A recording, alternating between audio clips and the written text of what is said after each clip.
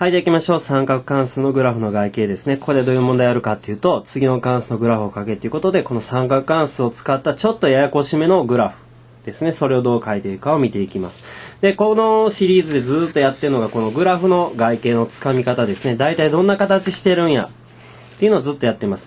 で、この一連の動画の一発目の分数関数のグラフの外形っていうところでね、グラフの外形をつかむにはどうしたらいいか、増減表を書いて、ね、f'(x) の正を調べたりと。えー凹凸を調べたり、これ2回微分するやつですね。とか、x が0とか y の時の y の値とか、y が0の時の x の値とかね、切片を調べたり、ね、えーリミットで極限値を調べて全近線を調べたり、またこれはやってないですけれども、偶関数とか奇関数とかを調べるのも有効であったりとか、これはね、え後々のあと2本ぐらい先の動画であります。で、もちろん定義域も大事だよねとか。ね、そういうふうにやっています。で、ここが何言ってるかわけわからない人はね、この分数関数のグラフの外形っていう動画でね、詳しく説明してるので、そこをしっかり見ておいてください。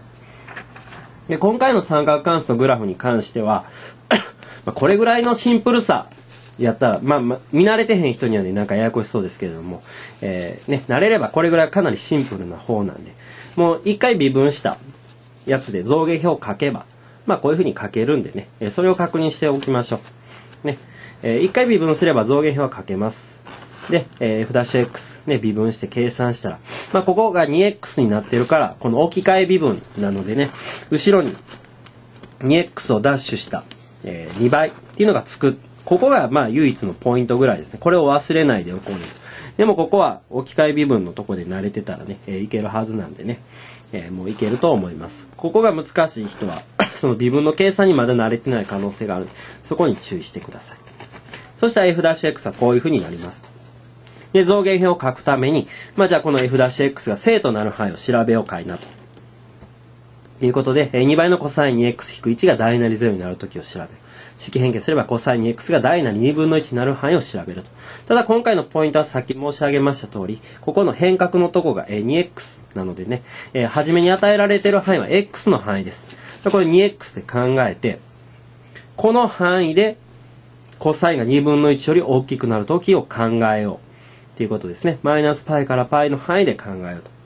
ね、コサインっていうのはもうご存知 x 座標に注目したらいいんでここですねこの範囲この範囲だとコサイン x が2分の1より大きくなるとつまりこの範囲に合うような答え方をすればマイナス3分の π から3分の π とこの時は f'(x) が正になるよとつまりこれを x に直せばマイナス6分の π から6分の π の時までですねの時は f'(x) が正だよっていうことが分かりますだから増減表をかけるんですね。マイナス6分の π と6分の π っていうのを作って、その時、ここが0だよと。 F'(x) は0だよと。そしてその間にある時はプラス。で、えその範囲からずれてる時はマイナスだよと。つまり、え下がって上がって下がってやから、ここが極小値で、ここが極大値になるよ。っていうことがわかるんですね。OK でしょうか。で、与えられてる定義がマイナス2分の π から2分の π までやから、両端をそういう風にしてと。っていう感じですね。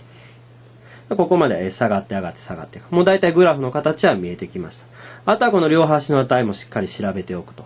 ね、代入して、マイナス2分の π、ここに代入して計算して、2分の π 代入して計算したりすれば、こういうふうに値が出ます。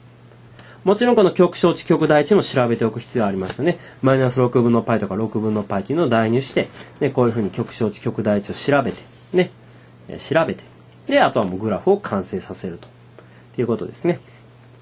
で、まあ、x が0の時の y の値も調べとこうということで、x0 代にしたら y0 なんでね、こういうふうなグラフが完成する。という流れです。OK でしょうか。まあ、今回は1回しか微分線でいいし、き比較的形はつかみやすいんでね、楽かと思います。2番も同じですよね。2番はむしろここが 2x じゃなくて x なんで微分もしやすいですしね、えーそれほど難しくないです。ね、f'(x1 回微分したら2倍の cosx プラス1になると。で、増減表を書くために、じゃあ f'(x が正になる範囲を調べよう。ということで、えー、cosx がマイナス2分の1よりでかいとき、ということがわかるんですね。で与えられた範囲で、cos がマイナス2分の1よりでかい。ということは、さっきの逆ですね。これよりでかいので、この範囲ですね。この範囲で、cos がマイナス2分の1よりでかくなると。つまり、与えられた0から 2π っていう書き方を考えれば、0からまずここまでですね、3分の 2π まで行って、 その3分の2 πから3分の4 π までダメで、またここからここまで 正になるっていうことですね。ここ3分の2 π、3分の4 π とって、その時0になるっていうふうに書いて、0から3分の2 π まではプラスで、3分の2 π から3分の4 π の時はマイナスで、3分の4 π から2 π の時はまたプラスで。ということで、グラフの形がね、こういうふうにつかめてくると。ここ極大値、ここが極小値になるっていうことがわかるんですね。OK でしょうか。で、また両端が0と2 π から0、2 π 取ってと。もう一緒ですね。